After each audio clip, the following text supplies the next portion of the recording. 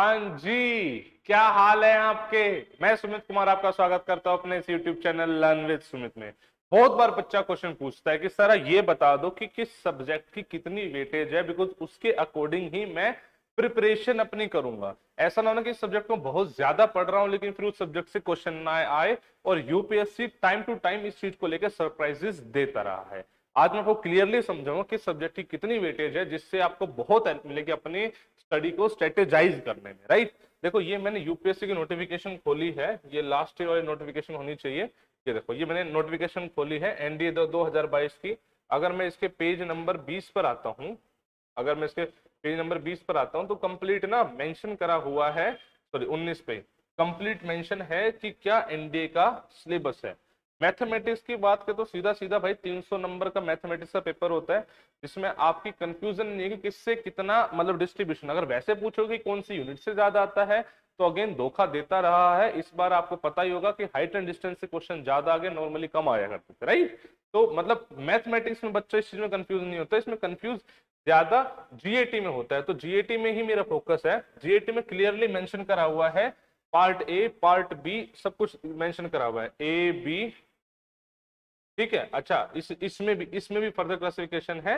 ए, उसमें देखो पहले तो 50 क्वेश्चन तो इंग्लिश के हो गए बच गए 100 क्वेश्चन 100 में साइंस और जीके आती है राइट तो उसको पार्ट ए फिजिक्स दिया हुआ है पार्ट बी केमिस्ट्री दिया हुआ है पार्ट सी बायोलॉजी है डी हिस्ट्री है ई ज्योग्राफी है एंड ये करंट अफेयर्स है। उसी के नीचे अगर आप आओगे तो कंप्लीट लिखा हुआ है A B C D E F की वेटेज ये सिर्फ़ उन 100 क्वेश्चंस की बच्चे मतलब जो 100 क्वेश्चंस है उसके हिसाब से है।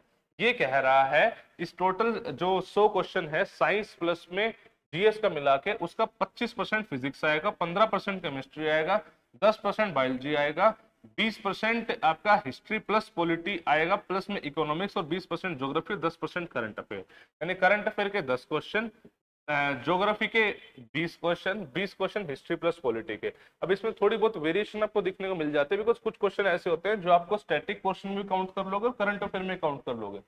ठीक है? जैसे आपने देखा होगा पॉलिटी के पिछले बार दस क्वेश्चन आए, इस बार क्वेश्चन आए नहीं, इस बार हिस्ट्री ज़्यादा क्वेश्चन पूछ लिए गए, ठीक है? वर्ल्ड हिस्ट्री से इस बार थोड़ा बहुत क्वेश्चन आ गया।